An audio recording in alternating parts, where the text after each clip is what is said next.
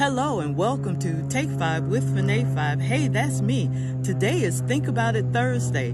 Now, I truly believe that when the light comes from within, you don't have to steal the spotlight. You don't have to be the spotlight. You don't look for the spotlight. However, we have all been around those people and sometimes work with people who not only have to have the spotlight, but they try to throw shade on your light.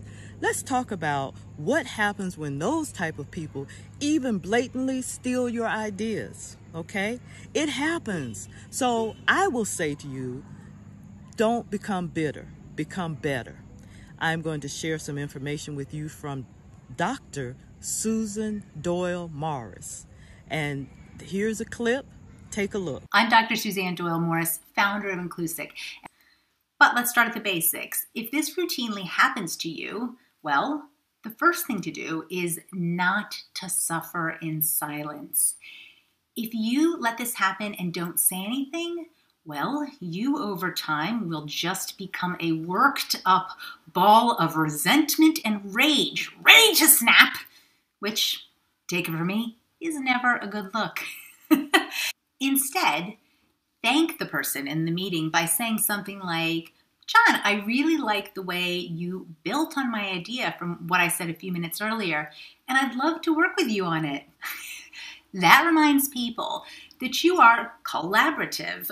So, the second thing to do, besides mentioning it when it does happen, is to become better at crediting other people when you see their ideas get appropriated, whether on purpose or not. Well, a good way to support someone is to say, I really like the way John's taken Janelle's idea from our last meeting and worked with it.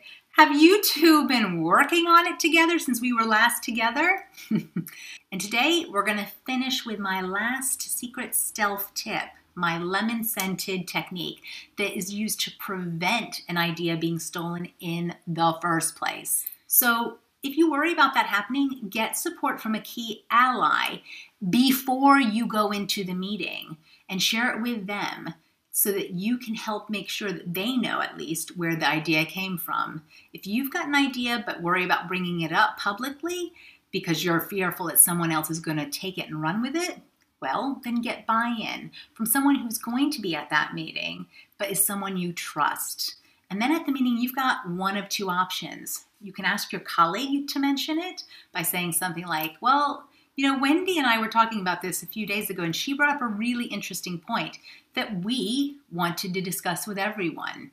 Or, secondly, your other option is you can raise it at your, yourself at the meeting by saying something like, Well, I was talking with Mark about this the other day, and he helped me see a few new angles on an idea I had, and we thought that'd be great to discuss with the larger group. That way, it's confirmed to everyone around that it started with you. So, I hope this has helped you, and thank you for joining me at Take Five with Fanae Five. Hey, that's me. Be blessed.